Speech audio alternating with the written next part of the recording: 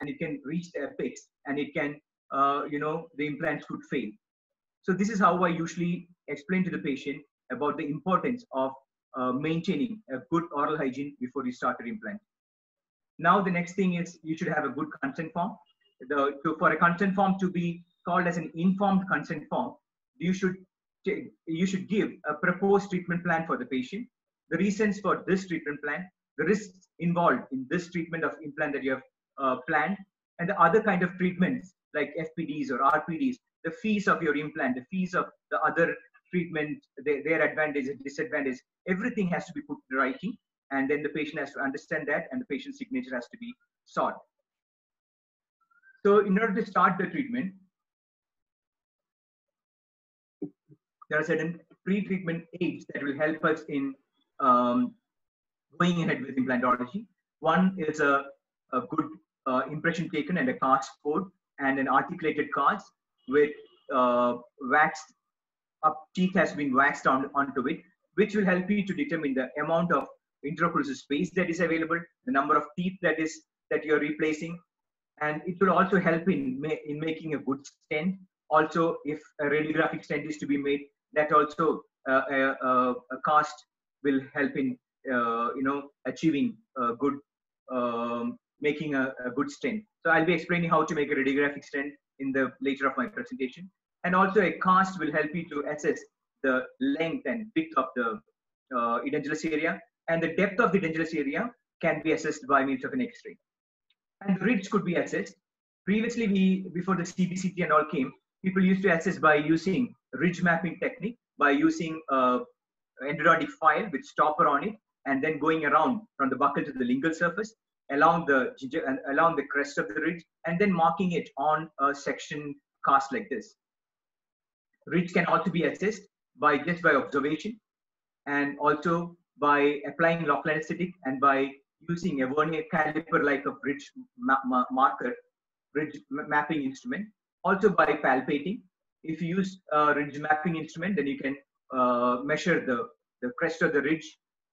You can go more apically and, and measure the width of the ridge at the uh, more apical region. In mandibular uh, situations, you can assess the uh, mylohyoid ridge by palpating. Then you can uh, check the width of the ridge by, in, uh, by palpating the ridge in between the finger and the thumb and also by using a ridge mapper on the crest and also a little bit more apically. So these are the different uh, methods that you can clinically assess. And also in intraperiodontal, sorry, an intraoral periapical radiograph is also another tool to assess the amount of bone that is available. And you know, many of the people uh, may not have access to a CBCT. So you know, still a panoramic radiograph is quite good um, to uh, assess the uh, pre-assessment uh, situation of uh, implant practice. So the problem with the panoramic radiograph is that it can result in um, distortion. So how do you assess the distortion? You can see this uh, this ball bearing has been kept is distorted. So in order to know how much of distortion has happened, what you do is you measure directly on the um, X-ray the, the the width of the ball bearing. So usually the ball bearing that we use to in implantology uh, uh, is 5 mm in diameter. That's a that's a universal standard. So you know the uh, the width of the the actual width of the uh, the ball bearing that you've used, and then you measure over the X-ray, and then if it is 6.4 millimeter, then what you do is you uh, divide it by the 5 5 mm, which is the actual diameter of your uh, ball bearing that you have used. And so this is this will give you a magnification factor for this particular radiograph. So what, what you do is on a cellophane sheet, you write the uh, magnification factor. Now you play, you superimpose this uh, cellophane sheet over your uh, X-ray, and then you measure the distance uh, from the inferior onto the crest of the ridge. And if uh, it is 15.5 uh, that you get, you divide it by the magnification factor. So this will the 12 millimeter will be the exact measurement, the actual measurement, actual width, actual length of the actual height of the crest of the ridge from the inferior alveolar nerve uh, superior portion. So similarly, you can mark the rest of the regions like this, dividing the uh, the measurement that you get on the X-ray by the magnification factor, which will give you the actual height of the uh, available space. So this is another case, just to explain it a little bit better. So what you do is, before you take a, a panoramic radiograph, you keep a ball bearing over the crest of the ridge, in the middle of the crest of the ridge, and then you take a X-ray. Now what you do is, you measure the width of the ball bearing on the X-ray. So what we have got is 6.2, which is divided by 5, which will give you the magnification factor for this X-ray, which is 1.24. And the magnification ratio is, is marked. Now, what you do is you measure the mesodistal uh, width uh, in the X-ray divided by the magnification factor, which will give you the actual uh, mesodistal measurement uh, of the peduncular space. Similarly, you can uh, measure the amount of available bone that is available beneath the sinus. So uh, you measure vertically the ball bearing, which is 6.4 millimeter. Now divided by the magnification factor, which is 1.28.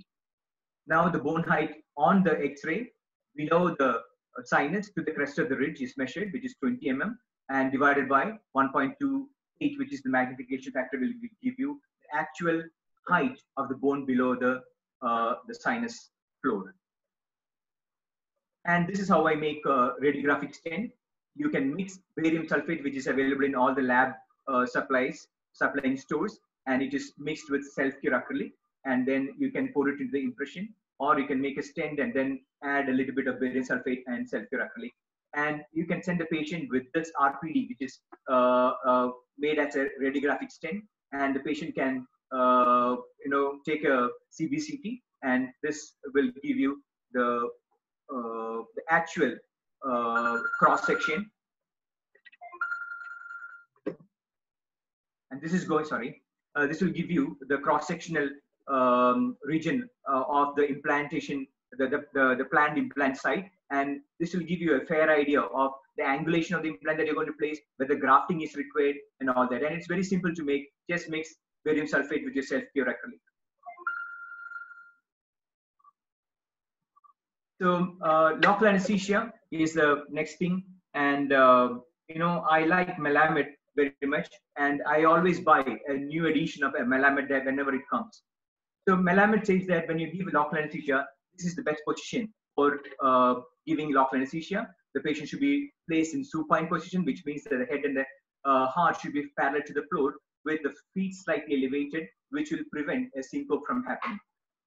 So in order to give uh, local anesthesia in the maxilla, you can give a buccal infiltration. And when you come to the palatal region, you can give a, a greater palatine block or uh, inferi- uh, or an incisive papillar block, or just you can anesthetize the lingual surface of the area where you're going to uh, place your implant. Coming to the mandibular uh, anesthesia, we know that inferior uh, alveolar nerve supplies the, the tooth uh, going through the inferior dental canal. So this is called as a uh, centrifugal kind of supply. And once the tooth is gone, that particular region, uh, the there is no nerve supply to that particular region, meaning the nerve supply to that bone comes from the periosteum, which is called as a centripetal uh, supply. So to place an implant in the mandibular tooth, you don't need to give uh, inferior alveolar block what you can give do is a infiltration on the buccal surface and also an infiltration on the lingual surface. And presently, it is said that Articaine has got uh, very potent bone penetration power. So if you give Articaine, that can penetrate the bone more than lidocaine, and it can give you profound anesthesia. Now for the incision that you place, you can always uh, prefer to go for a um, flapless surgery. But if you're thinking of a flap design, then it, it is uh, advocated that you always give uh, uh, a wider a wider release incision, which means that you should always go one tooth and one papilla away. This is sometimes you know uh, when you place an implant, you may not know whether a grafting is required. So when you place a, a wider uh, flap, when you give a, a open a wider flap, then you know the chances of incision line uh, gaping or uh, it will, is, is eliminated. Or if you are placing a block graft, still it can accommodate this wider flap can accommodate the, the added the increased volume of the block graft that you're placing. So you can uh, go for a mid-crestal incision or you can even try a paracrestal incision. This is a mid-crestal incision. Now,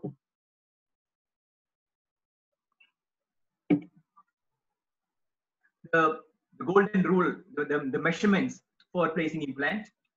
This is one case in which I play I placed an implant by expanding the bone and all. But when I placed the implant, it looked uh, quite okay. But when I reached the prosthetic stage, I found that the impression post is touching the next tooth, and it is very difficult to make an impression. So I had to trim the impression post. And this is the uh, abutment, you know, a short abutment which is touching the next tooth was resulted. And I found it very difficult to uh, do the prosthesis, but somehow, by God's grace, I could give a fairly good prosthesis in this case. So the golden rule while you place an implant is to uh, place it 1.5 millimeter from the next tooth. Otherwise, sometimes the bone might get necrosed because of the pressure in between uh, the, the tooth and the implant. Um, and it, it can compromise the blood supply to the bone and also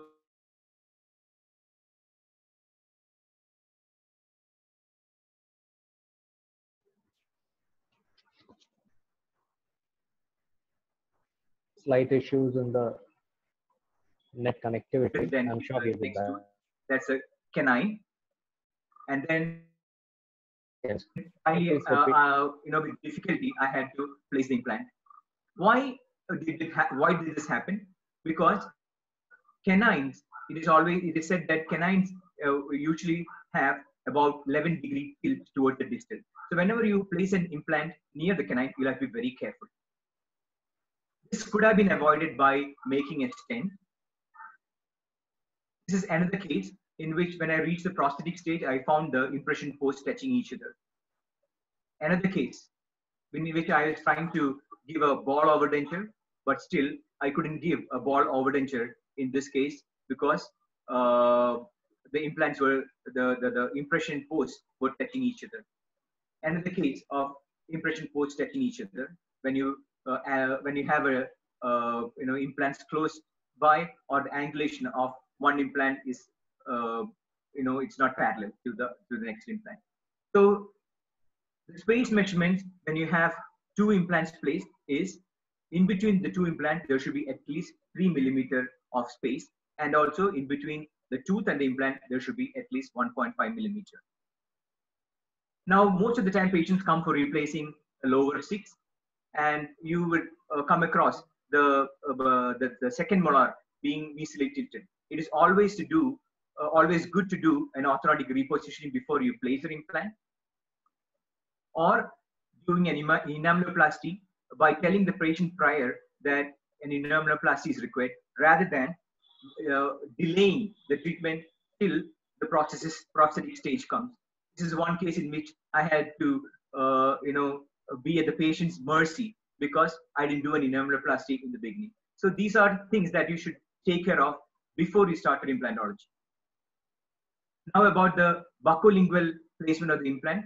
The implant should be placed in such a way that there should be at least one millimeter of the bone buccally and one millimeter of the bone lingual to the implant. So uh, many times we may, we may not have enough bone buccally and lingually, or most of the time buccally the, the, uh, the uh, you will find more resorption. So there are uh, different techniques like ridge expansion, uh, ridge splitting, or bone grafting, uh, by means of which we can develop the bone uh, to place an, an implant. These are the different techniques of expanding the bone. And when you have very serious deficiency of bone, you can probably do a block grafting or a particulate grafting. And there are presently burrs, expansion burrs like tensor burr and all, which is available in the market, which will help you to expand the bone uh, quite easily than uh, in the olden times.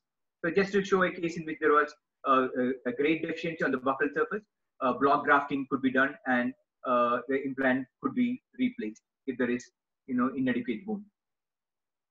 Now, uh, for the apico-coronal placement of the implant, it is always said that you should place the implant two millimeter below the CE junction of the next tooth. Now to measure the available prosthetic space, this was one situation in which I was called to do an implant as a consultant in another case. But when I reached there, this was the situation.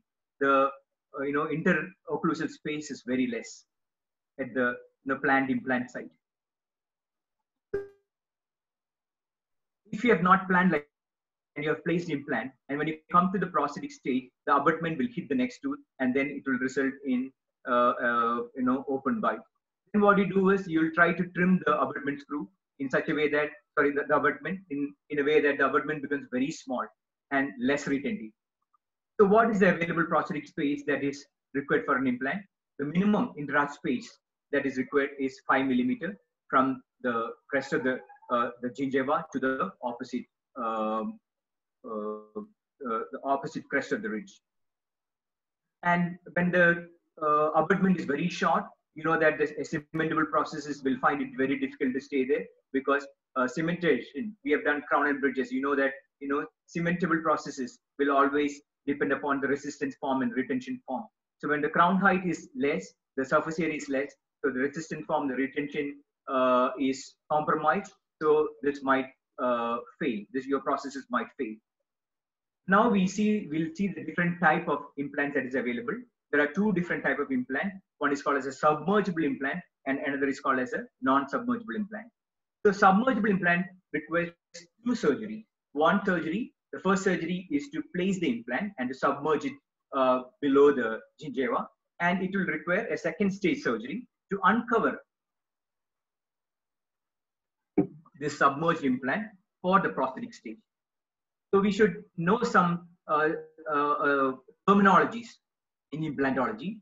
The, the bone preparation, what you do to place implant is in implantology, it is called as osteotomy preparation. So the receptor site preparation for implant placement is called as osteotomy preparation. And you need a separate armamentarium, a separate motor, uh, which is called as a physio dispenser for implant placement. You cannot uh, usually place it with your micromotor. And the implant company will supply you a specific implant surgical kit and, and some companies have got prosthetic kits also and they've got specific drills some are internally cooled some are externally cooled some uh, can be uh, externally and internally cooled and the handpiece that you use is a green ring handpiece which is called as a 20 is to 1 handpiece otherwise it is a low speed high torque handpiece we may be familiar with blue ring handpiece that we generally use, which is a one is to one handpiece that we generally use in our lab and also in oral surgery procedures.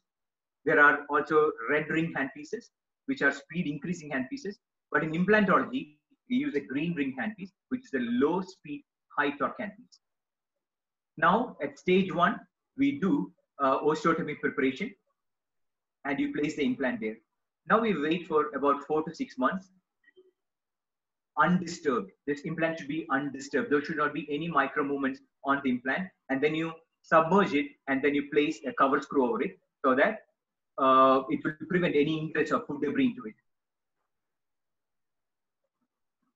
A non-submergible implant is otherwise called as a one-stage implant in which there is no separate abutment.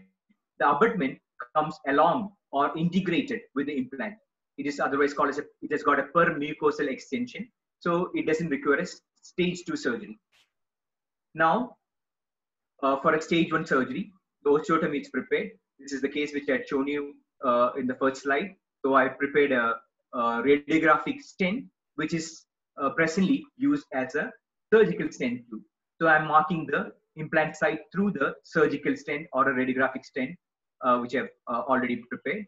And then an X-ray is taken after the pilot drill is being done so that you know you can ascertain the angulation of the um, the pilot drill which has gone and probably at this stage you can correct your angulation now the implant kit comes with drills which have got uh, a series of uh, width increasing series of uh, increasing widths so we grow we go progressively increasing the, the width of the, the osteotomy site the osteotomy is prepared and this is the osteotomy preparation.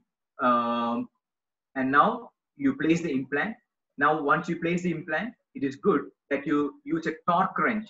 So the advantage of using a torque wrench is that you can measure the amount of force with which you are uh, placing the implant, which means that you know you can measure the stability of the implant, whether the implant has got uh, primary stability. So you can you can see on the left side it is marked.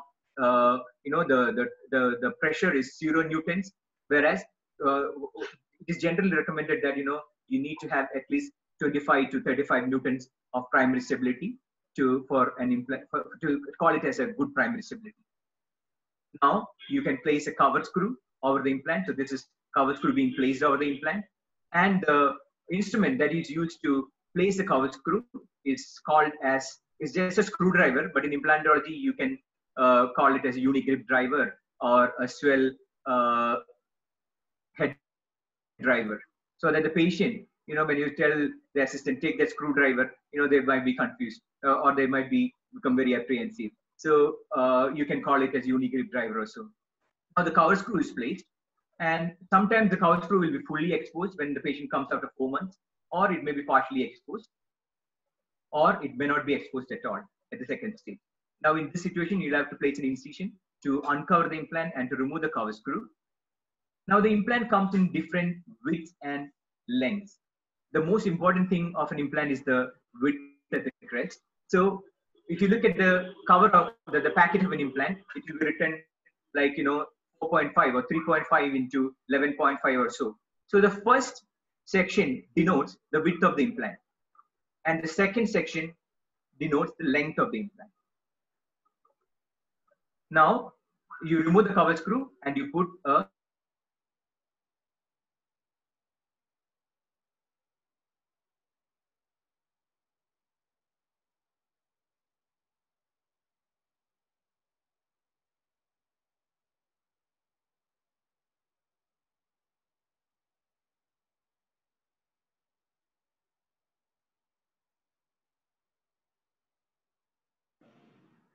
So, Pravish, can you hear me? Uh, uh, sir, sir, you were not audible for last one minute or so. Okay. Am I audible now? Yeah, yeah, you are. Okay. So what I'll just go to the previous two slides. Yeah, thank you, sir.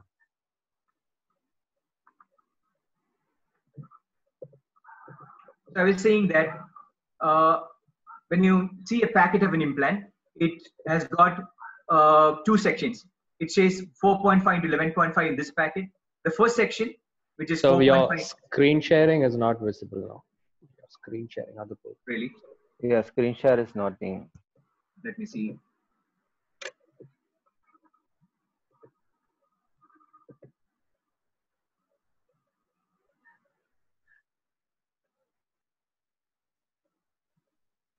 Yes, it's now starting.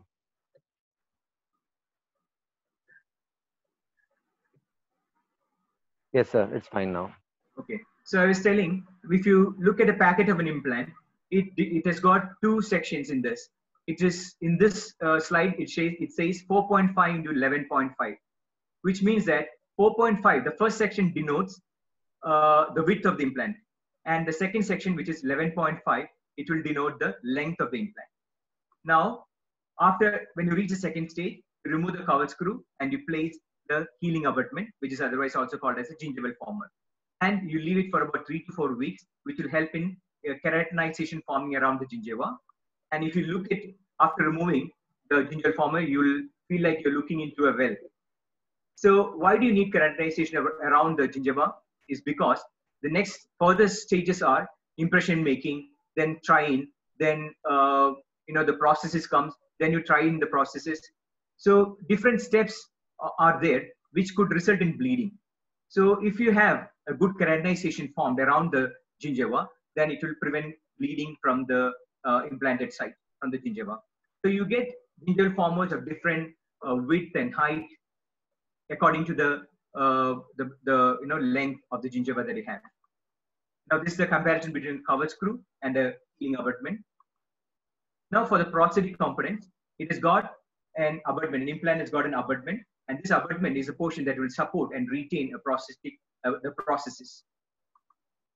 So this abutment is connected to the implant by means of an implant screw.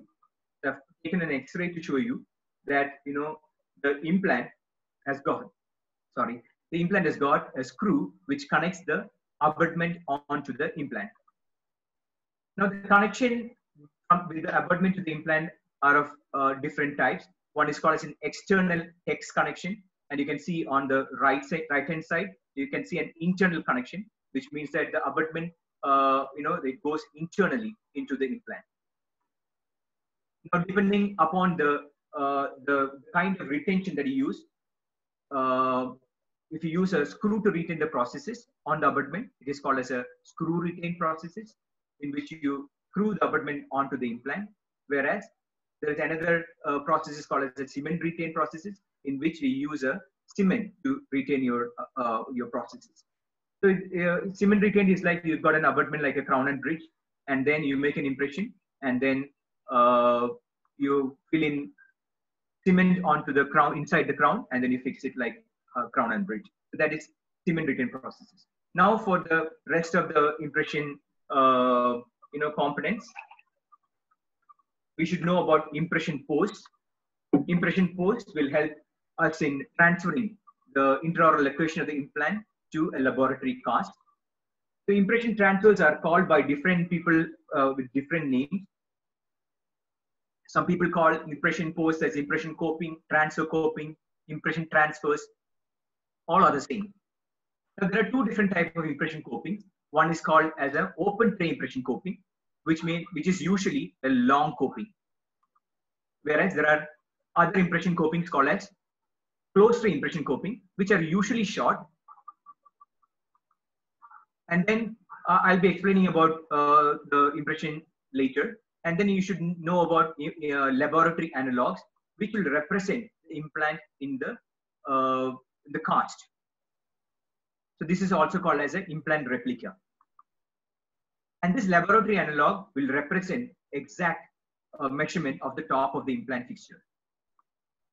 Now, one thing that you have to be very careful in uh, implantology is that the prosthesis should fit passively, which means that there should not be any micro gap, and which is usually ascertained by means of an X-ray between the prosthesis and the implant. If there is a micro gap, it can lead to bacterial leakage and peri-implantitis. It can also lead to bone loss or screw fracture or abutment fracture or even bone loss. So what you do is after you place an uh, impression post, always it is mandatory that you may feel, you know, in your hand, you may feel that with your hand, you may feel that it has properly gone and seated. But if you take an x-ray, many times you see that, you know, it may not have gone in, probably because the gingiva have uh, uh, would have come in between the uh, the implant platform and the abutment or sometimes bone may grow over the implant and it might hinder the, the, the correct uh, passive fit of the abutment or the impression post over the implant. So uh, soon after you place the uh, impression post, you should make sure that you make an X-ray. Now there are two different type of impressions. One is called as a closed tray impression and another is called as an open tray impression. Closed tray impression uh, you can choose any stock tray, but always it is said that you know a special tray, custom-made tray is the best for uh, the patient. Now you apply tray adhesive and you remove the uh, gingival former from the implant, and now you place the impression coping, the closed to impression coping over the implant, and you seal the impression, uh, uh, you know, the abutment access uh, screw hole uh, by means of Teflon tape. And then you inject your uh, light body and then you make an impression like a crown and bridge impression. You set a timer so that the, you'll know whether the impression sets the, the, uh, the exact time of the impression. Usually from the time of mixing, it is four to five minutes. And now once the impression is set, you remove the impression from the mouth. And the speciality of uh, closed tray impression is that once you remove the mouth, the impression from the mouth, the impression post stays in the mouth. Now you have to remove the impression post and attach a lab analog, and then you have to reorient the impression post back into the impression, which can result in inaccuracy.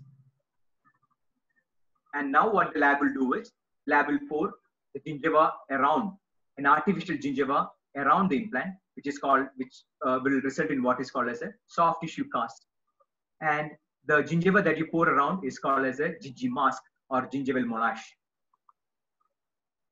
The advantage of closed tray is that it's very easy to do, but the problem is the impression coping doesn't come along will not come along with the impression, but it is fixed to the implant and it has to be reoriented, removed and reoriented in the set impression. Though it is very easy and simple like crown and bridge impression, this can result in a kind of uh, inaccuracy when you reorient it. It is good for single tooth impressions. It can be used for multiple tooth impressions, but which are the, the, the implants which are parallel to each other. And this is uh, useful when the mouth opening is limited because usually the impression posts are very short, which will require a limited mouth opening. And you know you can remove it very quickly. And it is very useful in gaggers. The disadvantage is, as I said before, you have to remove and replace and, and reorient it in the impression. And it is not useful when the implants are not parallel. Probably if you use polyether, which is a very rigid impression material, your impression may not come if you have non-parallel implants if you're using a closed tray impression technique. Closed tray impression technique can also be used if you modify the impression in the mouth, like you take a and bridge impression. And also it is good for making impressions of single tooth, uh, you know, single stage one implants in which the abutment is fixed, is attached, is integrated with the implant. So closed impressions are a good tool for making impressions in stage one implants. Second type of impression is called as an open tray impression, in which you make an opening at the implantation site to facilitate the impression coping, the removal of the screw of the impression coping.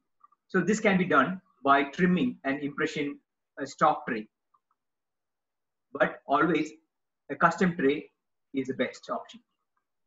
You get ready-made trays in which you know you can remove the screws of that region pertaining to your implant and uh, you can make open tray impressions like that. Open tray impressions, you know, uh, are useful when where, you, where your implants have been placed non-parallelly. Otherwise, removal removal will be very difficult. So, as I said before, open tray impressions usually will have a longer impression coping or a screw. And the impression, the advantage is that once you remove the impression, the impression coping, uh, you know, will get incorporated or picked up in the impression. And this will prevent uncertainty in reseating the impression copings like uh, in a closed tray impression. So this is more accurate than a closed tray impression. The problem with this is that since it has got long copings, you will require, uh, you know, more mouth opening, especially in situations, you know, when you have placed the upper seven and all, it will be very difficult if you, uh, you know, the patient has got limited mouth opening. So this also has to be ascertained before you place an implant. The mouth opening of the patient also has to be ascertained. So you make an opening on the tray pertaining to the region where you place an implant, and then you inject your light body around the implant, and then you make the impression, and your impression coping or the screw of the impression post will uh, will be shown through the impression that you're making. Now what you do is you'll you'll unscrew once the impression is set. Uh, you will unscrew the impression uh, screw the uh, of the impression coping, and once you, uh, you you remove the you retrieve the impression, you will see that the impression coping is picked up in the impression. So you don't need to reorient this in the impression. So which means that this is more accurate. So the advantage is that it is more accurate and you don't need to remove and replace the impression coping back into the impression uh, which you have taken. And open tray is also advantageous when in situations in which, you know, the implant, one implant is so much below the, the, the, the crest of the, um, the bony crest of the rest of the tooth or the rest of the implant. When this significantly below the occlusal plane, an open tray is, uh, is indicated. Now, there's another impression. Uh, the, the, previous two impressions, what I was mentioning, was called as a fixture level impression. Whereas there is another impression technique called as an abutment level impression, in which you know you make the impression uh, over the abutment of the, the multi-unit abutment, usually that you have placed over the implant. So you uh, will take the the impressioning level from the implant level to the top of the abutment that you have placed, which is usually done uh, in cases of all on four, which if you have done, it is a abutment level impression that you have done. that you, that you usually do. Now for the impression material that you use in implant, uh, polyether is the, the one that is generally you know recommended for implantation implantology uh, impressions. Why? Because polyether is very rigid. When you have uh, multiple implants, it will prevent the movement of the impression copings within the impression. So it is very very good in multiple implant situation. It will prevent the movement of the impression copings within the impression.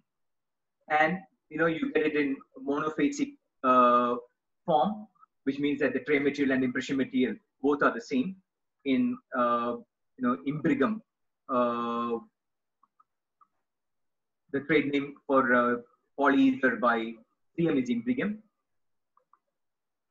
So once you make the impression, now what you do is you can disinfect the impression and then you send it to the lab. What the lab will do is, is they'll put the cards and the uh, once the crown comes back, what you do is you have to uh, screw in the the abutment screw and which is called as a pre-torquing. Now once you place the uh, torque the abutment to about uh, 30 to 35 newtons. Now you place the uh, cement, if it's a cementable prosthesis, then you can use a, cement to place the, uh, the crown. So usually it is recommended that you can use a temporary cement uh, uh, or a cement that is free from eugenol, or even you can use permanent cements, which is available in the market. Now for the occlusion with the implant, it's always said that, you know, you should give an implant protective occlusion, which means that in light closure, there should not be any contact on the implant. And when uh, there is a heavy contact, then only there should be contact on the implants. And there should not be any eccentric contact on the implant. And generally, you will give a mutually protected occlusion scheme. Now, for the prosthetic options in implant, whether it's a screwable prosthesis or uh, uh, cemented prosthesis, when the screw hole comes on the uh, cingulum side, especially in the anterior region, you know, it is good to give a screwable prosthesis. When the screw hole, access hole comes in the central groove, it is good to give a screwable prosthesis. The advantage of going for a screwable prosthesis is that retrievability is very easy. You can unscrew it and then you can remove the prosthesis. This is one of my cases, my earlier cases in which the screw hole had come to the buccal and then it looks very unaesthetic. Now I tried to close it with composite and then you know it looks very unaesthetic. So these are situations in which you can go in for uh, cemented prosthesis. When you place your implant at an angulation, you need to have an angulated abutment or you need to trim the abutment. So in such situations where your implant is angulated, uh, you know, or when the screw hole comes on the buccal surface, then a cementable prosthesis is uh, recommended. Cementable prosthesis comes with its own disadvantages. Cement extrusion leading to periimplantitis is a problem. If you have a screw loosening, then it is very difficult to remove the cemented prosthesis. You will have to uh, drill in through the occlusal surface uh, or the path of insertion of the screw access hole to find the, to fetch for the screw, which is a very difficult thing. There's another technique called as screwmentation, which is a combination of screwable and uh, cementable prosthesis is can also be done.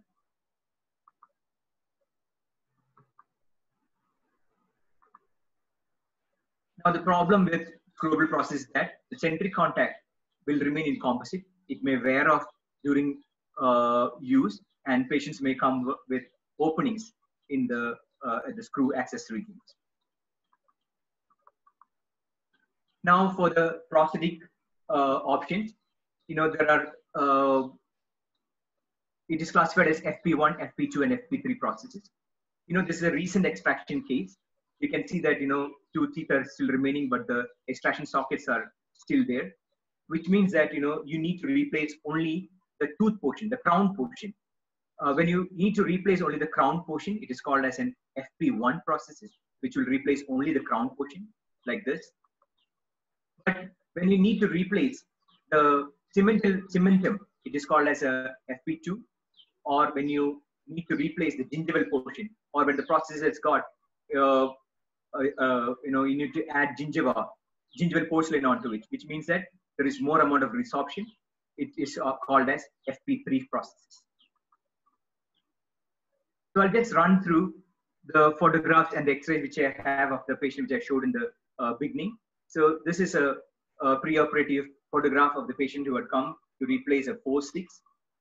Uh, articulated diagnostic wax-up has been made and a radiographic stent by mixing, making an RPD and uh, mixing barium sulfate with self-cure acrylic has been done and a CBCT has been uh, taken and a virtual implant planning has been done.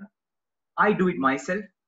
Uh, it is also uh, okay to have the uh, the center, the, the diagnostic center to uh, do the planning for you. But you know, you can be more assured, you can be more accurate if you yourself do your implant virtual planning. So an implant planning and virtual implant placement has been done. And then the same radiographic stent has been used as a surgical guide. Uh, X-ray had been taken with the pilot drill and a post-surgical implant placement radiograph has been taken. Now gingival former is placed after uh, four months. That's the buccal view. And then a closed tray impression post has been placed. A closed tray impression has been taken. Now I need to take this impression off from uh, the mouth and then reorient it into the impression which I've taken. And the lab will send you what is called as a jig fine. So this is otherwise called as a verification jig, which you place in the patient's mouth. And you know these marked regions which you know shows there is no gap between the implant and the abutment uh, between the impression post and the implant or the occlusal surface of the tooth. The same thing that you see in the cast has to be there in the patient's mouth. And you, verif you verify the uh, fit of this impression post or this verification jig with an x-ray there should not be any gap between the implant and the verification jig uh, in the X-ray tube. Now, you can, once you're sure that your impression is done, uh, your, your, your impression is accurate by means of verifying it with a verification jig, then you can ask for a metal trying and then the, they'll coat with ceramic and the ceramic prosthesis, probable prosthesis come back and that is the prosthesis in the mouth. And that is the occlusal view of the prosthesis in the mouth that is the opposing uh, photograph of the maxillary uh, arch. And that is the post-operative X-ray that has been taken as a baseline X-ray. And uh, in order for the implant prosthesis to be successful, you have to teach the patient about maintenance of the implant. So the difference between an implant and a tooth is that tooth has got horizontal fibers, gingival fibers going into the, uh, the cemental region. Whereas in implant, it doesn't have horizontal fibers. Most of them are parallel fibers or they are circular uh, fibers that goes around the implant. So bacteria or food debris or even cementum uh, or, or the, the cement that you uh, used to you know place the implant for that will be forced through very easily through the gingiva into the bone. Bacteria can easily go from the gingiva into the bone and will which will result in peri-implantitis. And you know, as I said before, it can bacteria can run through each threads of the implant like in a spiral ladder, and it can reach the apex and you know it can fail the implant like this. The problem with implant is that you know there are microorganisms in the mouth, and the implant has got an intraoral communication and there are there is no horizontal fibers for the gingiva. And the implant doesn't have any periodontal ligament, so you know, uh, you, know, like uh, in a tooth, it doesn't pain in the beginning. There is reduced proprioception with the implant. Patient can bite with about 80% of the force that a natural tooth will give, and still won't know how much of force they are using. So bacteria can easily ingress. Your prosthesis can easily break so you make a baseline X-ray when you send the patient or, or the last day of your prosthesis insertion. And you should always, it is recommended that you take annual radiograph to assess the crestal bone level and the bone, uh, the periodontal integrity. And you should demonstrate how to use interdental cleaning aids and which has been should be initiated from the first patient interaction and it should be reinforced through the treatment stages and it should be demonstrated and it should be reinforced on the day of the prosthesis, prosthesis insertion and it has to be evaluated periodically. You should show them toothbrushing. You should show them how to clean underneath an implant prosthesis. The floss should be wrapped around the implant or a bar prosthesis and you should move it horizontally and also you should move it horizontally and vertically. The floss should be tied in a shoe shine fashion to help to clean 360 degrees around the implant prosthesis, which has to be taught to the patient like this. Interdental brush has to be shown in the patient's mouth. And you get specified implant brushes, which can, which is angulated in a, in a particular fashion, which, uh, by means of which the lingual surfaces of the implant prosthesis can be reached. You should show the importance of interdental brushing, and you should show the uh, water pick. You know, you can, you can even supply water flosser from your clinic. You should show how to use them, and you should demonstrate and train all this during the insertion of the prosthesis to the patient. And you should check the oral hygiene within a week, review after one to two weeks whether the patient is doing all that which you have demonstrated. And you should review the patient after one month and see whether the prosthesis is, is okay or you need to do some adjustments. And I think I've completed in one hour as Pravish wanted me to. And this is my address. Yeah, And- sir, uh, we do have many questions for you. Yeah. Uh, I think Dr. Unni will be asking. Yeah. Thank you very much for your patient listening. Thank you, sir. Thank you for that wonderful presentation. From the very, you have started from the very basics, including the magnification factor of OPG. I found that very helpful. Thank you. Uh, so the first question here uh, that our participants have asked is, uh, what is the minimum age to recommend an implant?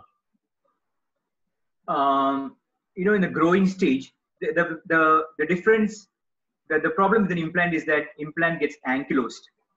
So, you know, if we are placing an implant in a, in a, uh growing stage, what happens is the rest of the tooth will start growing, whereas the implant will stay there.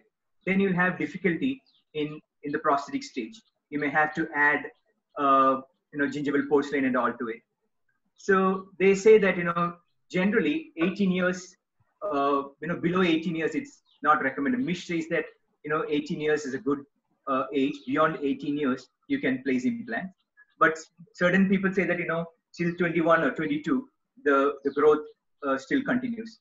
But you have, you have to ascertain clinically and also, uh, you know, say, Misch says that, you know, the, if it's a boy, if the boy has grown in, uh, you know, taller than his father, if he has gone uh, you know, mustache, thick mustache, then uh, probably he'll be a good age to uh, place an implant. But generally, they said that you know, less than 18 years is not generally recommended for placing implant. Right. So 18 years, yes. Okay. So the next question is from uh, uh, Dr. Mehul. Uh, he's been asking, uh, what should be the dimension of a gingival former in terms of length and diameter for a particular implant?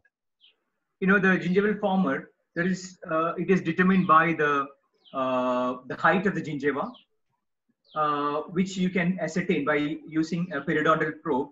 You can remove the cover screw and you can place a periodontal probe on the crest of the implant and you can measure the amount, the, the height of the gingiva and you can order a gingival former according to the height of your uh, gingiva that you have. Now for the width of the uh, gingiva, you can even customize a gingival former if you want. So the width depends upon uh, you know the, the amount of uh, diameter of the uh, situation that you want. Okay. So, but you can, you know, you can get different width and different height uh, according uh, to your situation from uh, all the implant companies. Right. So it varies with each It varies, yeah. patient. Uh, so next question is, how much variation can be expected on mesiodistal dimension of tooth in cast and in radiograph? Uh, I guess that depends on the radiograph. How much variation can be expected on the mesiodistal dimension on the of the tooth in cast and in radiograph? I think uh, usually uh, in cast and a radiograph, which means that in, in the mouth and the radiograph, In the mouth and the radiograph, yes. yeah, usually they say, you know, the uh, OPG magnifies by about 20% or so. I'm not sure. Yeah, I guess we will have to do that magnification factor checking of the OPG. I'm trying to enlarge the screen. Pravish, I Ah. cannot see you. Uh, you want what do you want me to do, sir? I would like to see you. Can we I, stop the screen share? yeah, I'm there now. Yeah, yeah, I can see you. Yeah. Yeah, go ahead. So you can stop the screen share. Uh, in that case, we all will be able to see Yeah, you. yeah, you will be able to see us in the big bigger screen. You Okay, can just stop the screen share, sir. Let me try. Let me try.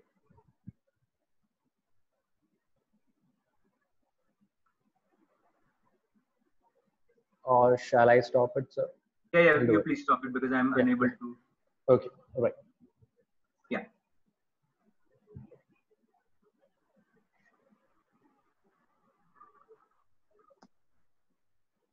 And so the next question is, uh, uh, can uh, what is the best implant system available in the market, especially in the case of single tooth replacement? Is that do you have any recommendations for that? So I'll answer this with another question. What is the best antibiotic that you can prescribe for a patient? It depends on the case. Yeah. case. So there is no best implant. Uh, it depends upon the case situation. Certain companies they come with 3 mm. Uh, certain companies have got diameter of 3.5, 3.7, 4.3. Length also also varies. Some companies have got 6.5 millimeter long implants uh, or 8 mm. It depends upon your situation, and uh, you know there is no best implant as such. Okay. In single, in the uh, with respect to single tooth replacement, what method would you suggest? Submerged or single stage for impression taking? I guess. I would always prefer a submerged protocol because especially in single uh, two situation, if it's an anterior, uh, you know, sometimes, you know, when you do freehand, your angulation uh, may go more buccally. And then, uh, you know, if you go for a single piece implant, then you cannot angulate, you know, your, your prosthetic versatility is reduced. If it is a two piece implant, you can always order an angulated implant, an angulated abutment, or you can um, trim off the buccal portion of the uh, abutment. Whereas once you trim off the, you know, you don't have so much of prosthetic versatility in a single piece implant because the abutment is uh, integrated with the implant. Okay. Okay, sir. Did that answer? your Yes, sir. question? Yeah. Uh, so our next question is from uh, Dr. Mithilesh. He's a fellow oral surgeon. Uh, he's been asking about how to assess the gingival biotype. Okay. Gingival biotype can could be assessed by placing a periodontal probe, uh, you know, uh, of the, uh, in in the next tooth. If you see a periodontal probe through the gingiva, it shows that gingiva is very thin, which is called as a thin thin biotype. Thin biotype. If your biotype is very thin, the problem with implant is that you know uh, the implant abutment junction or even the implant itself, the black color can be shown through the gingiva and then thin gingival biotype uh, would also indicate less keratinization of the gingiva, which can result in uh, gingival breakdown in future and bacterial ingress also. Okay, sir. Uh, how much distance should be there between the implant and the maxillary sinus? Implant end.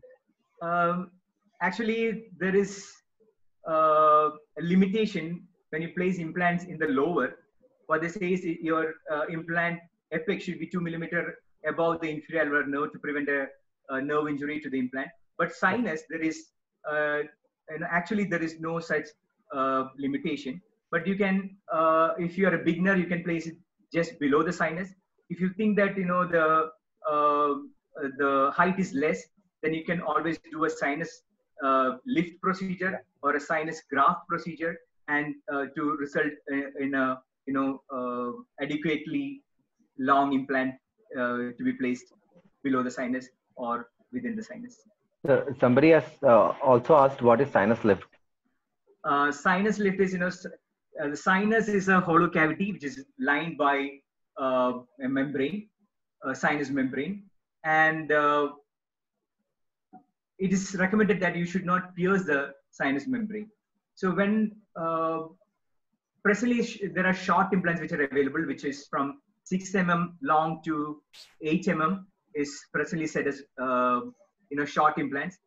Uh, but you know if you want to place a longer implant there, what you can do is you can uh, do a sinus lift procedure.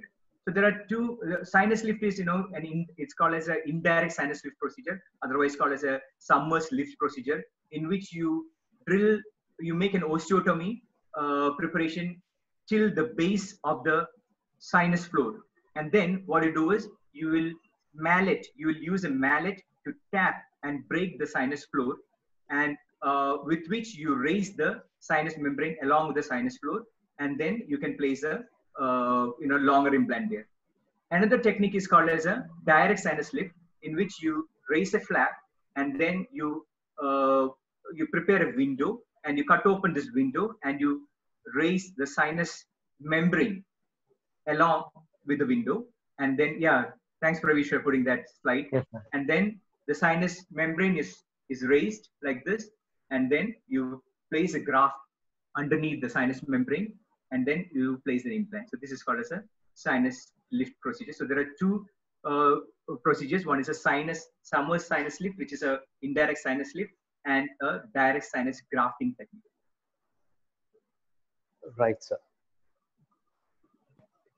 So uh, next question is, in one of the cases that you showed here, there was less than 1.5 mm clearance between the abutment and the gingiva.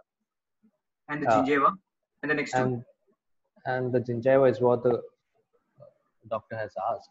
Uh, Right. must be be- Right. between the implants. They might have meant Between the implants, between. or And between teeth and the implant. It would be helpful if you could say how you managed it. um, you know, it was probably my first or fifth case of implantology. And, um, you know, I was also taken aback during the uh, impression stage because I found that uh, I found that the impression post is touching the next tooth and it's not going in. So I had to trim. If you check the, uh, do you want me to screen share that again? I had trimmed the distal surface of the uh, impression post Yes. and uh, in that way the impression post went in so i had to trim the impression post in that case And what about sir, when it uh, went to the abutment stage? Was the abutment also fitting, or you went for a customized abutment? uh, it was a customized abutment Yeah. And uh, when was this done, sir? Way back in which time? way back probably in 2007 or 2008 Okay. Thank you. How can we do a surgical stent and how to calculate the drill with the stent? Uh, stent?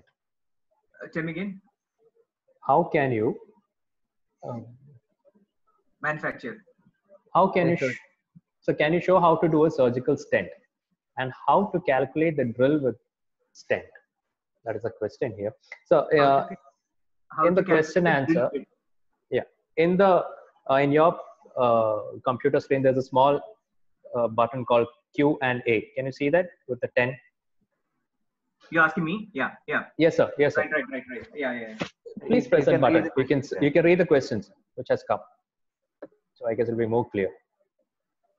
One dr arun prakash the second question yeah, what- yeah, yeah.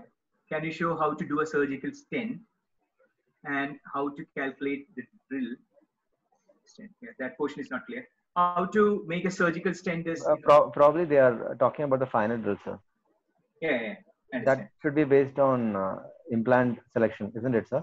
Yeah, you know, um, I, I, I can answer that. So how do you make a surgical stent? That's the first question. So just an RPD will act as a surgical stent if you want. If you want to uh, cut down cost, you make an, just an RPD and drill a hole through the central groove. That itself will uh, uh, suffice for a, a, surgical stent. But you can also order a, a Essix retainer and then drill through it. Um, but if you want to uh, exactly, uh, you know, calculate the drill width with it, there's something called as a surgical stent, uh, a, a, guided surgery stent which you can make. If you go for a guided surgery stent that is made by the company or the lab, which, which will have different sleeves according to the uh, size of the each drill that you're going to place in inside. So the, it will um, have a sleeve that you can place for a pilot drill, and you remove that sleeve. You place the next sleeve for the 2 mm drill. Then you can remove it. Then you can place a 3 mm sleeve for the 3 mm drill. Like that, you can progressively increase uh, the drill sizes if you are going for a surgical, uh, uh, a guided surgical stent. Did I answer you, Arun? Yeah, I guess. Uh, let him come up with the question again Yeah. it's, not clear. So the next question, sir. Uh, how to select external hex or internal hex? Yeah, yeah. External hex was um, the type of implants that previously, uh, during the time of, uh, you know, uh, when, implant came into market, they tried to, all these implants were external hex. Why the external hex was uh, incorporated into an implant is that it, it external hex acted uh, or the, the hexes will benefit in fitting a spanner on the implant and then they used to drive the spanner uh, by catching it onto the external hex and that is how the implants were inserted into the osteotomy in the olden days. But later they found that you know external hex will um, you know reduce the internal sorry the, the interocclusal space that you have. So they thought of uh, and then abutment screw loosening started happening. So they they thought of uh, you know making it internal hex. So that is uh, later they found out you know uh, when you make an internal hex uh, it is more easy to drive the uh, or uh, you know the, the forces of the implant will go directly into the into the implant. And uh, that is the difference between an internal and an external hex. So presently they say that you know um, when you place all on four it is good that you uh, place an external hex implant so that you don't need to, especially those implants which are tilted. Uh, if you um, place external hex, then you don't need to uh, fetch for the implant because already the hex will be a little bit longer and it will uh, probably stay uh, outside or just beneath the gingiva. So it will be easy to fetch for the external hex implant. Yeah. So the next question, what affects more, diameter or the length of the implant?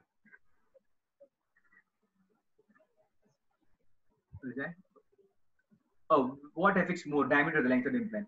Yeah, diameter is uh, said to be uh, more critical than the length of the implant. Why? Because it is uh, the diameter. It's at the crest that uh, the which takes up most of the force. So stresses will be dissipated at the crest. That is, crest is the region where the the force uh, uh, is is uh, you know impinged onto the uh, to the implant. So crest will take up most of the forces. So it is said that you know the the, the if the maximum width that is possible for that crest should be selected than the length of the implant. So width of the crest is more important than the length of the implant. But generally it is said that uh, an implant should be uh, 10 millimeter long to uh, generally they say that you know an adequately long implant is 10 millimeter implant. So please give us some tips in implant maintenance, like scaling, with respect to general practitioner. Oh, scaling, they say that you know you should not use your ordinary metal scalers because metal uh, can uh, scratch the implant surface, which can lead to even further incorporation of food debris into the onto the implant surface. So uh, you get uh, plastic scalers and uh, you know titanium scalers. Plastic scalers, I've tried plastic scalers and it won't you know remove the calculus like you know metal scalers. So if you're using metal scalers, uh, it is good to use titanium scalers uh, because titanium uh, will scratch the titanium implant less, lesser than any other metal. So that is how you should scale the our implants. And maintenance phase, I've, I had uh, described during my presentation about how Yes, to sir. maintain, how to use interdental brush and uh, specific implant brushes. It has to be taught to the patient. And uh, does the titanium, uh, do we get it for our regular uh, scaler scaling device, or you have a special scaling device for? I have read that I know you you you get special hand scalers which are made of titanium, Oh, okay. uh, and I've read that you know you get uh, plastic tips which can be put uh, like a sleeve over your ordinary uh, type uh, ordinary uh, ultrasonic scaler tips. Okay. But I've not come I've not uh, procured one, but I just read about it. Thank you, sir. And so, what is your opinion about Densah sinus lift techniques? Can you, I've not used Densah burst to do sinus grafting, sinus lifting, but I've used uh, Densah burst to uh, expand bone, and it works very well. okay, thank you. Your opinion about basal implants? It's very I've common nowadays. this. Thank you, sir. So the next question is, how long can an implant stay in the mouth successfully if the patient has placed at the age of 25 years? Or will it get displaced by aging? Generally, it doesn't get uh, displaced just because the patient is getting aged. But if he's, there are many factors for implant failure. Probably we'll have a seminar on implant failure later. But you know, generally, if the patient is healthy, uh, you know, if he's uh, a non-smoker, if he's uh, not, if doesn't have uncontrolled diabetes, um, and uh, his periostatus is good, generally implants are there to stay. If you Google, it says that you know implant treatment is about 90 to 95 to 99 percent successful. So age doesn't matter. Okay. Uh, what is better, immediate or delayed implant placement, considering the survival rate and no rig aug- augmentation needs to be done? Dr. Kananji. Can you see the question, sir? The second one from top. each has got its, its own uh, indication. Sometimes, uh, you know, you cannot just uh, classify every patient as an immediate uh, implant patient. Sometimes, you know, when you think of placing an immediate implant, uh, they say that immediate implant, uh, you know, the torque should be uh, over 45 newtons. Sometimes you think that this patient is a good patient for immediate implant, you might get 45 newtons, but when you place an implant, you know, you may not get that much of primary stability in grafted cases you cannot do an immediate implant and then you know the, the, the immediate implant situation is uh, probably li- uh, limited. Uh, but you know uh, other indications you know you'll have to go for uh, delayed implant placement. Is there any technique to know whether the yeah hello. Is there any technique to know whether the osseointegration has been performed properly in a soft bone after implant placement? Specifically asking about resonance technique. yeah yeah yeah yeah resonance technique can be done yeah Osstell can be used i think uh, you know it's called as radio frequency analysis I, I, I- just forgot that. Yeah, resonance testing by means of Osstell. The company is called Osstell. You can use that.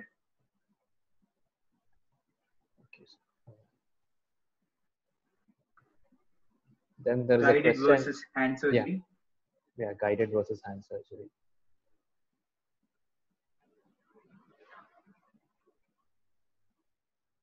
Hello, sir. Sir, can you hear me? Hello, sir.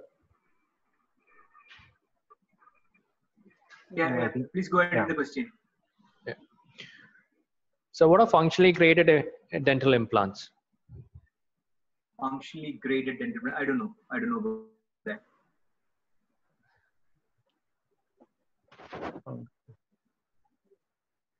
In case of bar attached overdenture, please explain the maintenance practices that should be done.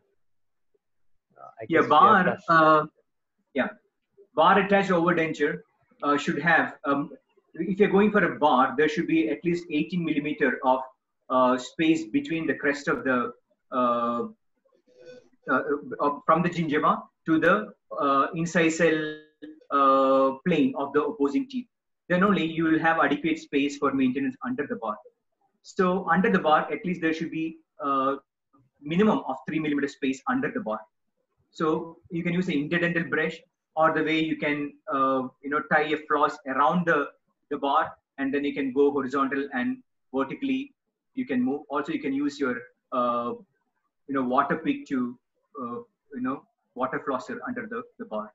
Yeah, maintenance under the bar is, is of prime importance.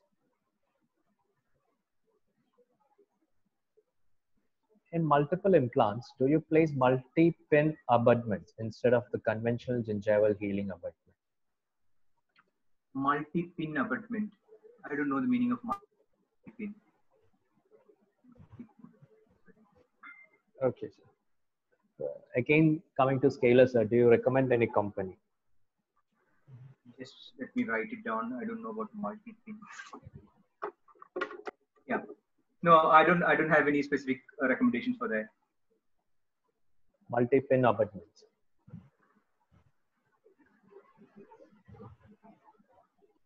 All right. Yeah.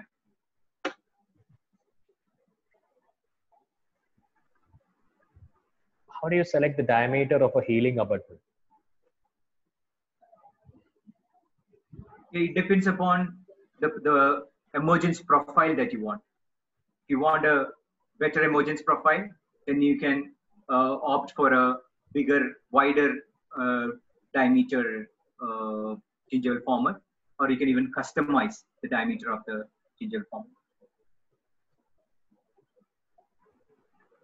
The minimum time required to place an implant. To place an implant means what?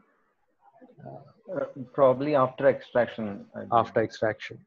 Yeah, maybe three to four months is a good time to place an implant after extraction, so that you'll have you know immature bone within the socket, which you can uh, probably shift uh, to the buccal side. You can condense it to the buccal side, and you can place an implant. So minimum of three to four months. What what if it is a case of immediate implant, sir? Immediately, yeah, you, you can place an implant immediately can. also. Yeah, yeah. In a patient with bruxism, can we place an implant? What are the precautions to be taken? Yeah, bruxers are always a problem for dentistry, not just for implants. But in bruxer, if you want to place an implant, then they always say that you know you should use the widest implant that is possible. One. Secondly, is that you should over-engineer, meaning if you can place more implants in that patient, uh, you know, if one implant or abutment screw breaks, still you can utilize, uh, you can carry on with the same prosthesis, or you can uh, place some sleeping implants for this patient, and then you can uh, utilize that those implants later on uh, for a bruxer. And also, they recommend that you should give a night guard for this patient. The, the sleeping implant would be always submerged when until until when you actually require it, isn't it, sir? Yeah, yeah, yeah. You know, just just for to as a precaution, you can even try placing sleeping implants for bruxers, and then utilize them. But always over-engineer, give more number of implants, keep the wide, give the widest implant possible for that situation, and a night guard. Okay. So the next question we, we have combined to one question was that how to uh, read and CBCT, and the next question is how to do virtual implant planning, place implant placement planning. So that's a huge Yeah. topic. CBCT, uh, to read a CBCT, you have to learn. You you can talk to your CBCT center to teach you how to learn uh, reading a CBCT. So, uh, And I would always recommend. probably yeah. they, they are talking about how to uh, find the dimension and all. I think it comes with the software, and uh, you can use the software to measure it. Yeah, it's not very difficult to learn that. You, I think you should learn. Uh, you know, asking your CBCT center, and then uh, uh, it's not very difficult to learn that. Virtual implant placement planning. Yeah, same. That question is answered. Okay. Uh, multi-unit abutments. That is what he was talking about. No, the previous question, which the previous he question, which asked, you Uh, previous question. Yeah, yeah, yeah. yeah, in multiple implants, do you place Multi-unit abutment. is multi-unit not- abutments? Yeah, multi-unit abutment is always not uh, required for uh, you know multiple implants. Multi-unit uh, abutment is uh, required when you need to uh, in an all-on-four case or or so. Multi-unit abutments are more expensive also. So I don't generally place multi-unit uh, abutments otherwise indicated. Okay. What should be the minimum vertical question. height in a mul- in a mandibular implant supported overdenture? Ball attachment. What should be minimum vertical height in a mandibular implant support overdenture? Similarly, uh, as I said, you should have at least 18 millimeter of bone, uh, sorry, of interocclusal space from the opposing plane, so that you know. Uh, otherwise, you will see that you know uh, your uh, prosthesis thickness will be very less. Even if uh, you give a metal reinforced uh, denture, it might break, or the, the the ball will be shown through if you go for a, a reduced intra space. Uh, maybe 15 to 18 millimeter of intra space should be there for a bar. Uh, sorry, ball attachment even. But presently, you know, you get um, locators and um, locator uh, attachments. You can, uh, you know, you get even uh, one millimeter or even zero millimeter uh, height of uh, locator. So in reduced intra space, you can still use a, locator with you know minimum um, height of the locator attachment. Okay, sir. The next question. In case of localized periodontitis and the tooth has become mobile, Ravish, next question. Yes, sir. Uh, I think Dr. Unikrishnan is asking. in, in- in case of localized periodontitis and the tooth has become mobile, can delayed implant treatment be done if the patient is not medically compromised? When should a bone graft be done if required? Sir, can you hear me?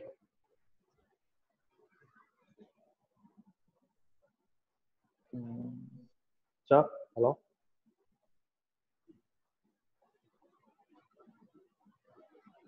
Hello. Ravish, can you hear me? Yeah, audible, but I think sir has lost his connection. Sir has lost his connection. Yeah, I lost you in between. Yeah, yeah, sir. So So the the question was on uh, Endopore patient. Yeah, okay, sir. Endopore. We'll go to that first. Yeah, endopore implants. Um, you know, it's a. It was considered to be the one of the roughest implant in once upon a time. I don't know whether it is still available. Endopore implants they don't have any threads. They've got globules of titanium all around. The problem with uh, the endopore implants is that since it is not threaded, it is usually uh, tapped into the osteotomy site, an underprepared osteotomy, and is made, and then you tap the uh, implant into the uh, osteotomy. So that is what we generally do.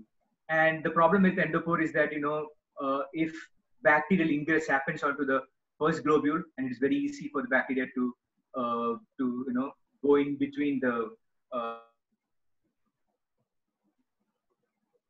endopore implants are still available in the market. Okay. Okay.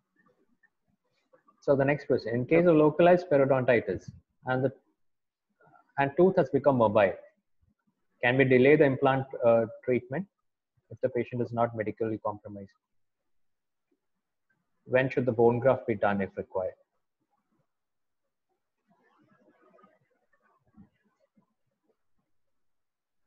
I hope you understood the question, sir. Can you read the question? Yes. Uh, probably they are asking about the uh, tooth before extraction. So it has localized periodontitis and it is mobile. So after extraction, we should be preferring, preferably we should be going for delayed implant, isn't it, sir? yeah, you can do a delayed implant. Uh, yeah, in that case. Yeah. And uh, when should bone graft be done if required? Like, uh, will will you will we do it immediately after extracting a periodont periodontally compromised teeth, uh, or you can do it along with implant placement or something like that, sir? Yeah, generally it is not done along with uh, extraction. If you're doing a delayed implant placement, then it depends upon the bone situation. And uh, Can we try for socket preservation or something? yeah, you can even still try because you know you cannot do socket protection because anyway the tooth has come out. So That's nothing will be left. the- I think that is. And what what bone grafts do you prefer in sinus lift? That's one more question which has come. Oh yeah, yeah. Bone graft. Um, I usually mix allograft with uh, synthetic graft.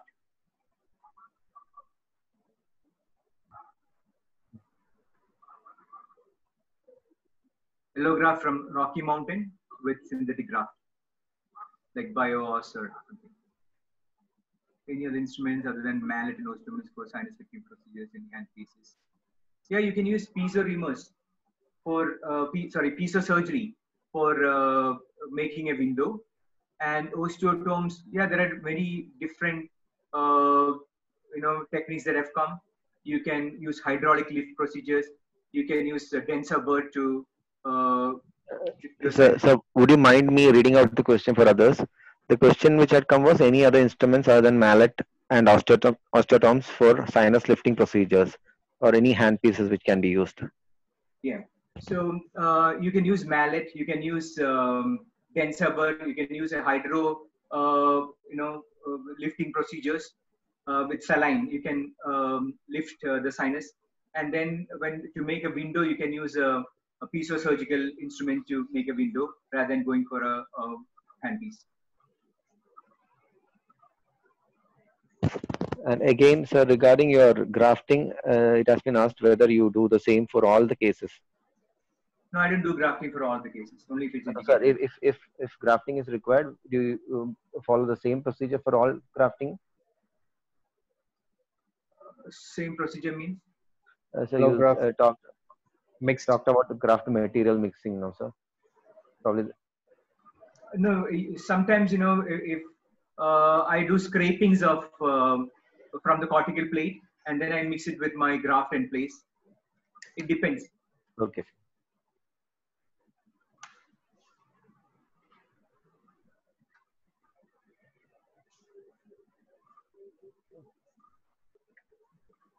I think almost we are done, sir. There, there, there, were many questions regarding can we give implant to a patient who smokes every day?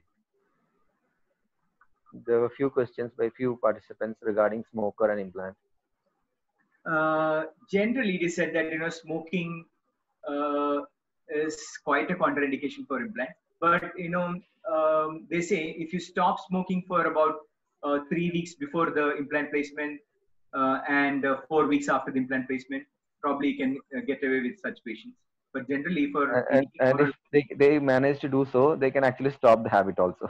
yeah this can be utilized as a uh, time a lockdown period for um, you For know smoking. stopping implants uh, sorry for stopping smoking too and if you have grafted eh, that definitely that patient should not smoke for at least one or two months The, there are a few more questions in your uh, Q&A session, sir. yeah So snappy impression. Uh, a few words about that, sir. Snappy impression. snappy impression copings snappy impression technique Yes, sir. Okay, a snap, snappy impression is uh, usually for a closed tray uh, technique. The uh, abutment is placed onto the implant, and the snappy impression coping is placed onto the uh, abutment. And then when you pick it up, the the the top portion or the snappy portion of the uh, of the impression that you of the impression coping that you place over the abutment will get incorporated into the impression and then you need to remove the abutment and place it back into the snappy impression coping. That is how we do it. It's a closed tray impression technique. Snappy impression.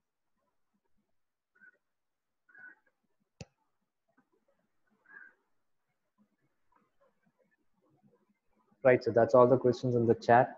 Now Yeah. uh, we can look at the questions at the question answer session in the question answer window. Is lack of interocclusal space an absolute contraindication? Yes. Oh, I've come across situations in which I've placed implants and then uh, patient did not allow me to uh, do an enameloplasty on the opposite tooth or the next tooth. So this has to be, uh, you know, taken care of, ascertained before you start your implant placement. What you do is you make a cast and then you uh, recognize how much of uh, space you have. Minimum of uh, four to five millimeter of interocclusal space is required for uh, screwable prosthesis, but at least seven millimeter of interocclusal space should be there for uh, placing a cementable prosthesis. But if there is no space at all, then it's difficult. You have to create space by doing a, uh, you know, mm, root canal for the opposing tooth or so, and to create a space if, if it is supraerupted. So minimum of five to seven millimeter should be there for uh, in implant prosthesis.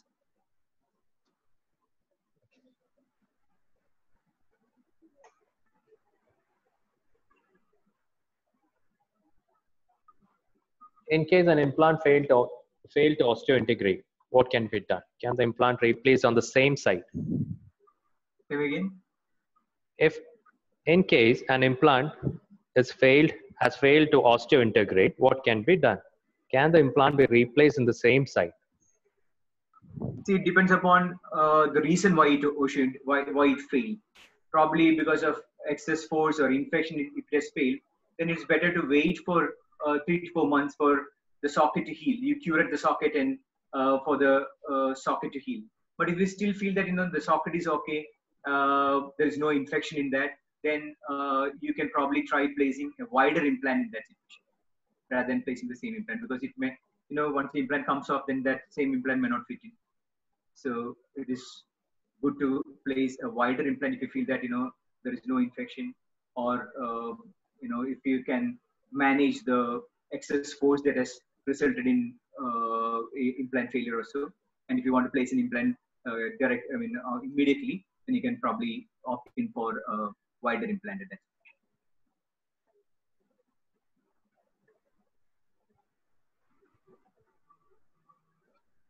Okay, sir. I guess that completes our thing.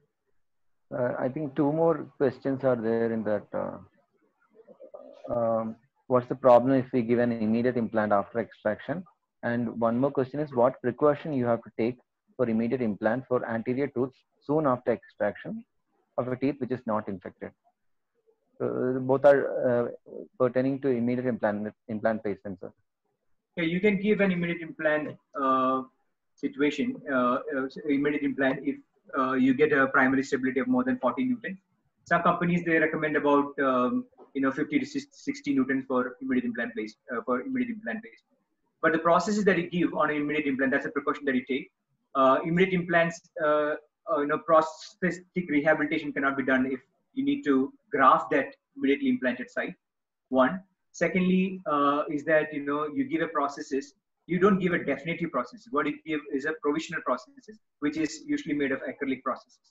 Uh, so that you know even, if some force comes over there, uh, the acrylic will get abraded, and you will usually keep it out of occlusion. So those are the uh, precautions that you take. I, I think I think we have done with the doubt clearing part. Uh, if at all anyone wants to ask some questions, you may do that.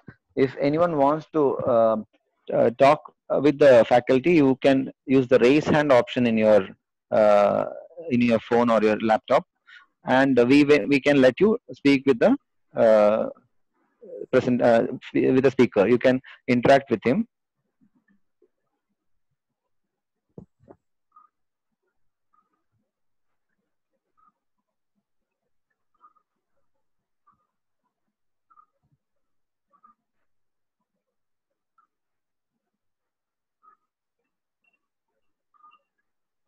Uh, Dr. Divyasri wants to talk to you, sir. Hi, sir. Hello, Divyasri. Divyasri, I have Hello. Yeah, your mic was on mode. audible? Yeah, yeah, it's it's fine now. Hello. Yeah, Okay. yeah. So I have a patient who is uh, 63 years, and he had done the implant. Uh, I think eight years before. Hello. Yeah, you're And placed a bridge in the lower. Hello. You're audible. You are audible. Can you hear, I hear can me? hear, I can hear you loud and clear. Okay. You can, Uh, he has got uh, now. Hello.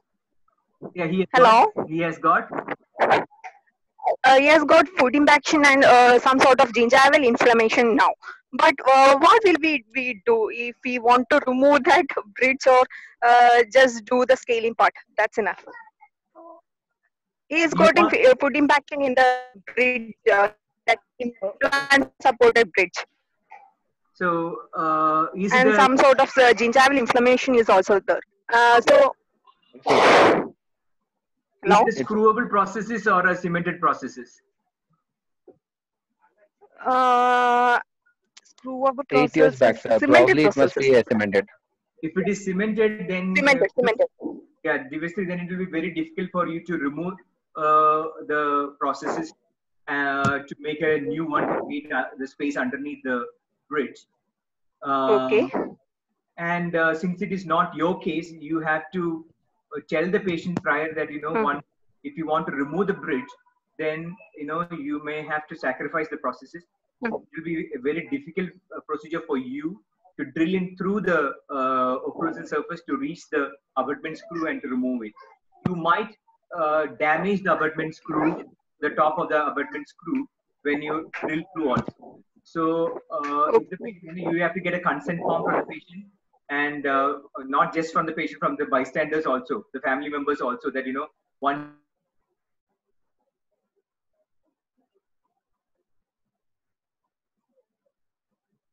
acid, um, or you may damage the uh, abutment screw, which is all uh, a problem in, in this situation. So if the patient is ready for all that, then and, and if he wants to remove it, then it's always good to, to for you to remove it, uh, drilling through the, uh, the occlusal surface.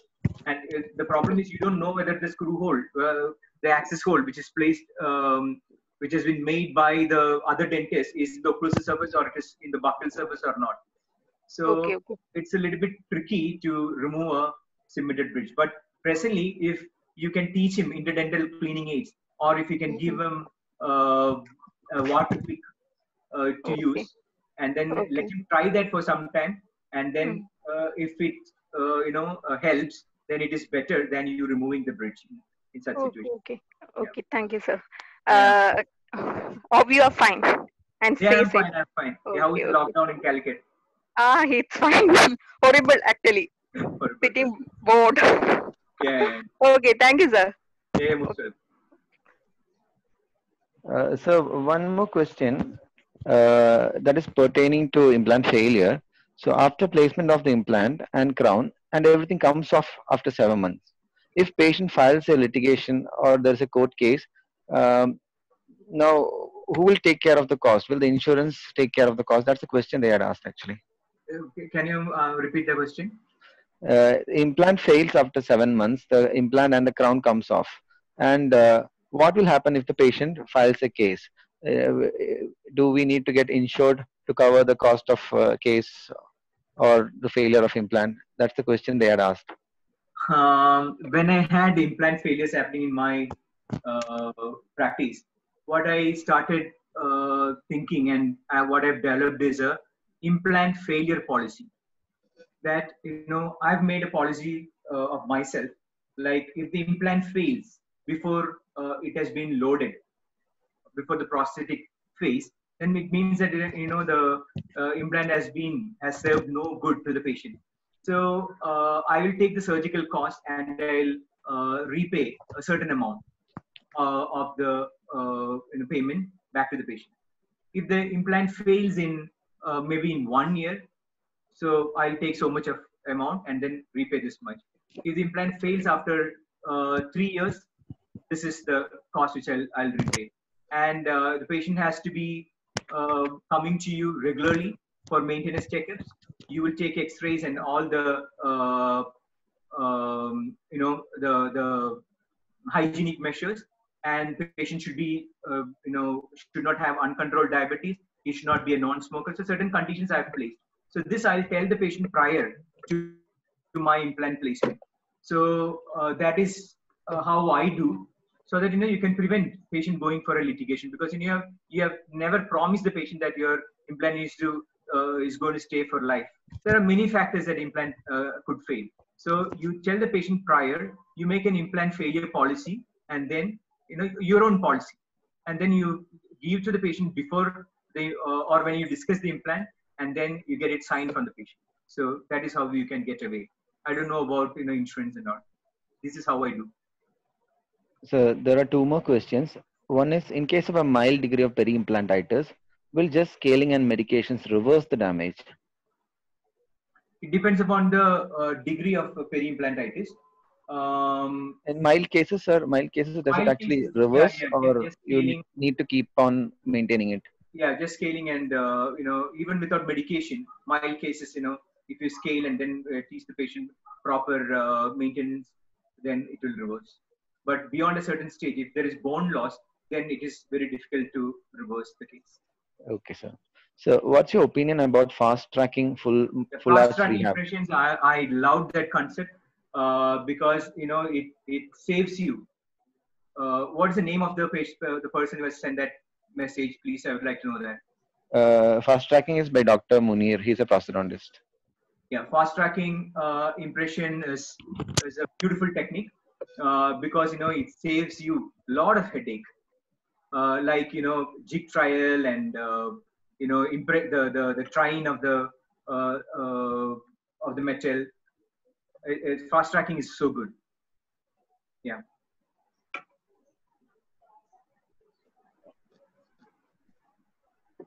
Um, anything more, Dr. Unikrishna? probably they can whatsapp in the group if they want yes, I think uh, one more person has raised their hand. Dr. Aisha Jalil, I think. Doctor, Doctor, you may uh, unmute yourself and ask question. Uh, hello, can you hear me? Hello. Yeah, Yeah, you're, you're audible now. Okay, okay. Thank you you, can put the doctor. for video also Pravish Yeah. that'd be good No, sir. Video, uh, we cannot allow in this mode, sir. Okay, thank you, thank you so much, doctor, for your uh, beautiful presentation. And, And I, uh, I would like to add on, uh, Dr. Aisha was the one with who had many questions, many doubts she had actually. okay. i uh, hope i was okay. able to answer most of your questions okay, thank you, sir. Uh, okay, uh, doctor, uh, can you explain how about this uh, using uh, making uh, osteotomy with uh, surgical stent? Yeah, surgical stent. Uh, I had explained this before. Uh, surgical stent can be uh, made with just like a, if you make an RPD and then if you drill through the yeah, center. that, uh, that I that I understood. Uh, I'm asking whether you will do this uh, elevating the flap or you just drill through the uh, gingiva when Okay. you place this uh, surgical stent. if if you just go uh, blindly following the surgical stent without raising a flap, most of the time because the buccal uh, cortical plate resorbs faster, and then probably there will be more of uh, gingival thickness there.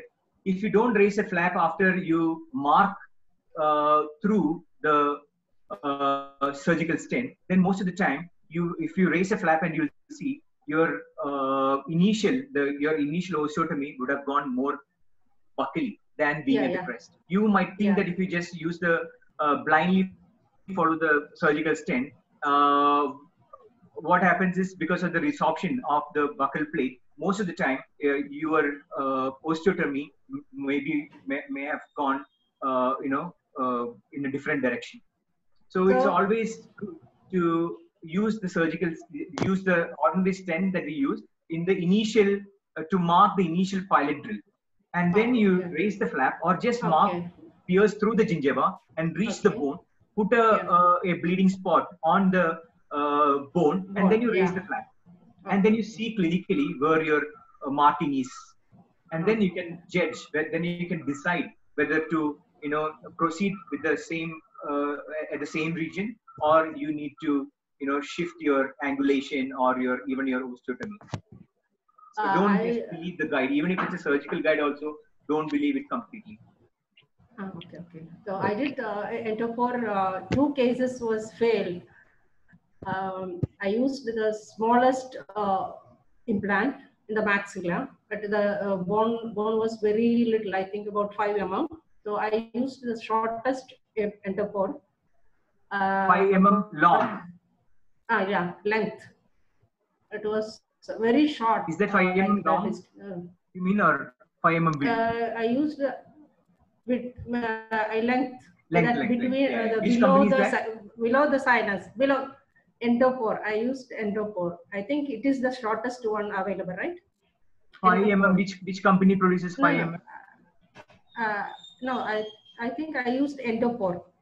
Endopore, endopore. Yeah, yeah, yeah. Yeah, yeah, and it was it failed. So that's When why I asked whether it's it. I used in 2009.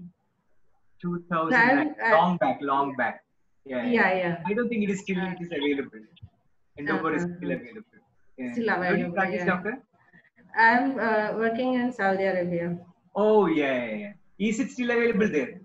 Uh, right now, I don't know because I did it long past. So I am not uh, because at that time we it was available uh, with our uh, agent, like uh, the supplier. It was only the endopore available. So I started doing with the endopore. So two of my cases failed, single tooth, but one bridge still it is okay with endopore. Yeah, yeah, yeah. So while I was doing the course, I did the many cases with replace, select, or uh, all these things. I did. I used it to three, two, three systems while doing Okay. this uh, course. So it was okay. yeah, Yeah. yeah, yeah. Yeah. Okay. Thank you, doctor. Yeah, most So, welcome, Doctor. I, I- I think uh, rest of the doubts uh, you you may please ask in, ask through WhatsApp, and uh, we will be uh, having that uh, group uh, in, intact for at least uh, three four days, and uh, you may interact with sir in that group. And thank you sir for the amazing session. I uh, I I think uh, Dr. Unni, So next, Hello? uh, uh, Yeah. Dr. Shaju, our president I IDA Malabar, would yeah. like to say a few words sir is there. uh, to thank you and the attendees who have attended. Uh, uh, Shaju sir, can you please unmute yourself?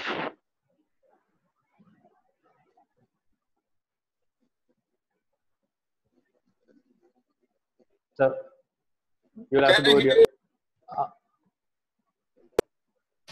Hello. Yes, sir. You, you, you're audible Yeah. now. Shaju sir. Okay. Thank you, Dr. Eldo Koshy, for having a wonderful session.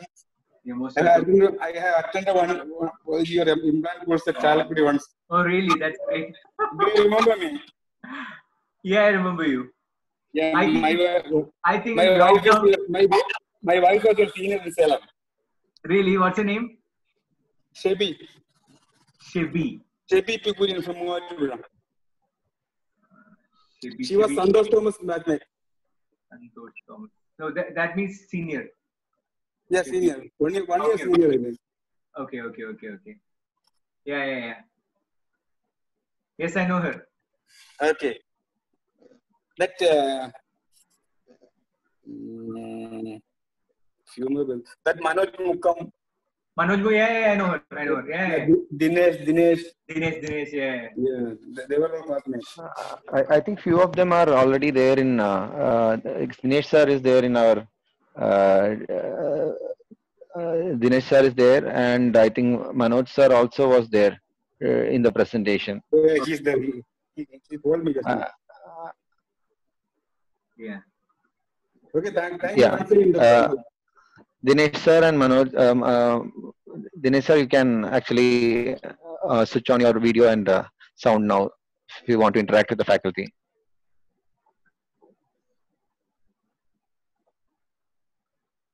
Dinesh,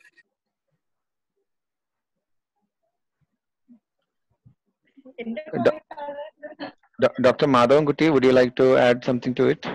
Would you like to ask them doubt? Provision provision ഒറ്റ doubt ചോദിച്ചോട്ടെ ആ, ആ. Extract ചെയ്ത same tooth നമുക്ക് implant ആയിട്ട് അത് പൊടിച്ച് ഉപയോഗിക്കാന്നൊക്കെ സത്യമാണ് ഉള്ളതാണത് ആ, Uh, yeah, yeah. അങ്ങനെ ഗ്രാഫ്റ്റ് അങ്ങനത്തെ ഒരു കൈൻഡ് ഓഫ് ഗ്രാഫ്റ്റ് ഉണ്ട് Video and audio. ആ ടൂത്തിനെ U U can you can extract the tooth and you know use the same tooth as a graft material that's A ഇതിന് concept ഏറ്റവും ഏറ്റവും നല്ല ഗ്രാഫ്റ്റ് അതാണെന്ന് കേട്ടതാ ചോദിച്ചു not not much അങ്ങനെ ഏറ്റവും നല്ല ഗ്രാഫ്റ്റ് അങ്ങനെ ഒരു ഗ്രാഫ്റ്റ് ഇല്ല actually you have to What about that no one graph? That uh, no bone is also a synthetic graph it has got its own advantages and disadvantages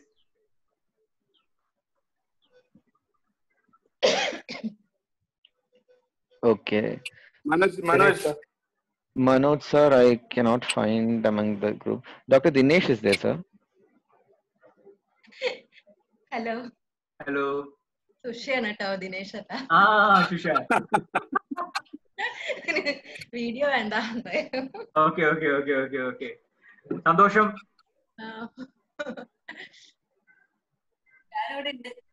oh hello hello hello hello. കണ്ടതിൽ സന്തോഷം കണ്ടതിൽ സന്തോഷം. ഓർമ്മയുണ്ട്? ഓർമ്മയുണ്ട് ഓർമ്മയുണ്ട് ഓർമ്മയുണ്ട് ഓർമ്മയുണ്ട്. ഓർമ്മയുണ്ട്. പിന്നെ നമ്മൾ ഞാൻ കാലിക്കറ്റ് വന്നപ്പോഴും കണ്ടിരുന്നു. സുഖായിരിക്കുന്നു? ഓർമ്മയുണ്ട് സുഖമായിരിക്കുന്നു